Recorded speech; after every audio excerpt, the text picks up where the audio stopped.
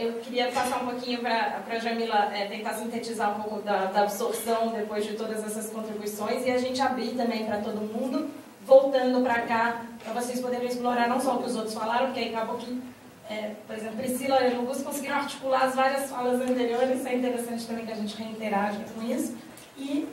com as questões trazidas por, é, pelo, pelo público, pode ser?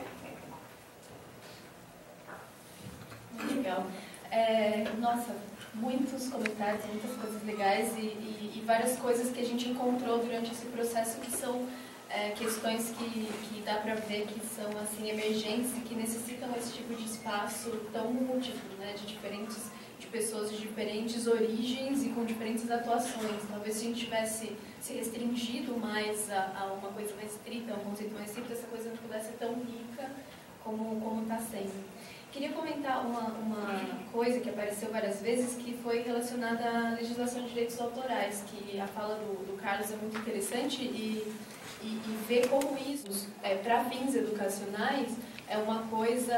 é, ao mesmo tempo, incrível e, e, por outro lado, angustiante, tendo que a gente tem esse histórico da reforma do direito autoral, que é uma coisa que está muito presente na, na memória desse grupo que a gente entrevistou também. E, e, do mesmo jeito que o veto ao projeto REA daqui de São Paulo, parece todas as pessoas que são próximas a, a esse tema citam esse caso como um caso emblemático é, do ponto de vista negativo e, e, vários outros pontos de vista positivo, mas enfim,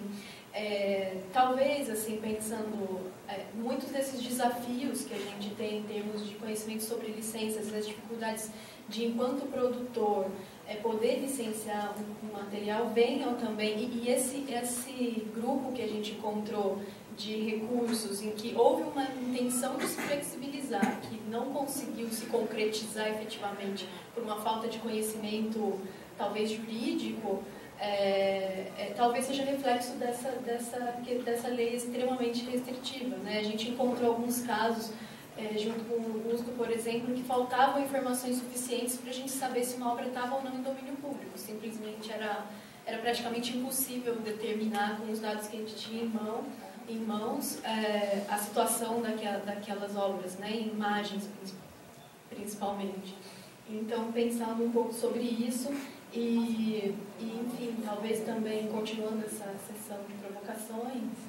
é, muitos, desses desafios que estão colocados para as editoras no Brasil e a, e a, dificuldade desse setor mais tradicional, quando a gente vai falar, a gente falou com, com alguma, alguns representantes, alguns membros dessas editoras, talvez essa dificuldade venha muito de, desse privilégio que é esse PNLD, né? assim, desse privilégio que termina é,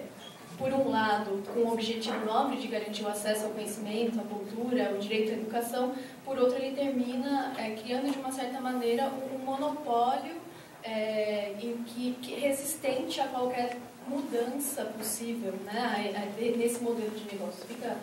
mais é, coisa para a gente pensar, talvez, né, em como poderia ser uma política pública que não, que não se baseasse na compra de direitos autorais e que por outro lado, outro tipo de produção é, aberta, colaborativa nesse sentido. E, bom, para fechar essa parte, assim, que, que eu acho que tem várias questões que foram tocadas aqui que aparecem na pesquisa, por exemplo, a questão do uso não comercial, é muito interessante ver o quanto tem sentido é isso que o Augusto vinha falando, quando a gente vai ver as práticas das, das, de algumas editoras, a gente nota que as grandes editoras, elas têm um departamento inteiro para cuidar de direitos autorais, elas têm um, toda uma equipe, ou então contratam uma empresa só para cuidar disso, é, devido ao tamanho do problema que, que se tem. Né? Então, elas têm é, condições de, de, trabalhar com isso, condições de, de, no momento de lançar uma obra, falar, não, não lança porque isso aqui não está 100% de acordo com todas as questões que a gente tem que atentar. E, e por outro lado, outros produtores não. Então, o que isso deixa é, para nós, né? O pequeno produtor, ele talvez não tem, ele não tem todos esses recursos para saber se aquilo é, pode ou não violar uma lei e aquela produção que ele fez e que ele, que ele adaptou. Então, retomando a, a pesquisa que a Priscila comenta do, do Comitê Gestor da Internet, que fez essa, pela primeira vez, teve essa, essa abordagem sobre o uso de recursos é, digitais por parte dos professores.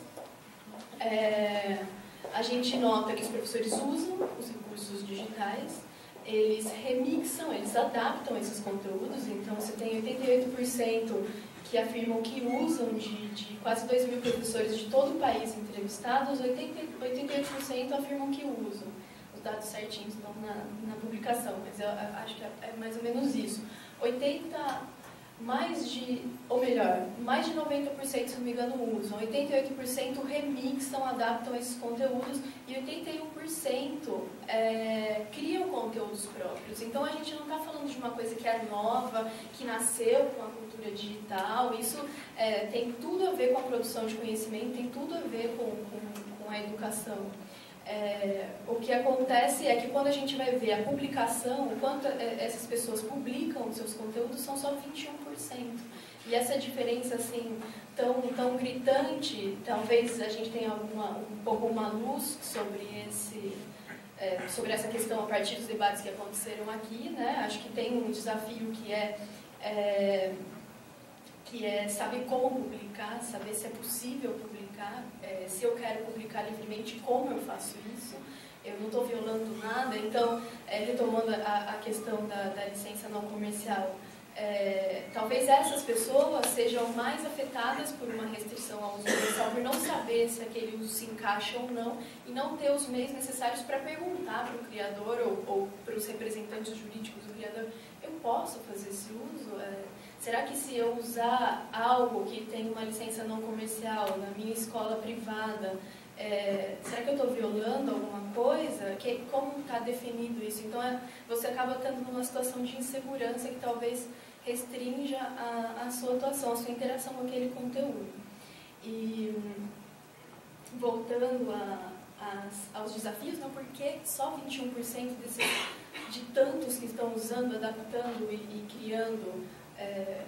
é, publicam esses conteúdos. Uma outra questão, acho que o, o, Alessandro falou um pouco sobre isso e é muito interessante ouvir essa perspectiva, que é, é faz todo sentido, e, mas talvez não seja devidamente valorizado esse papel de criador. Talvez a gente tenha um sistema que não necessariamente é, é, coloca, o, o, educador já está colocado nesse papel de criação, né, uma coisa que é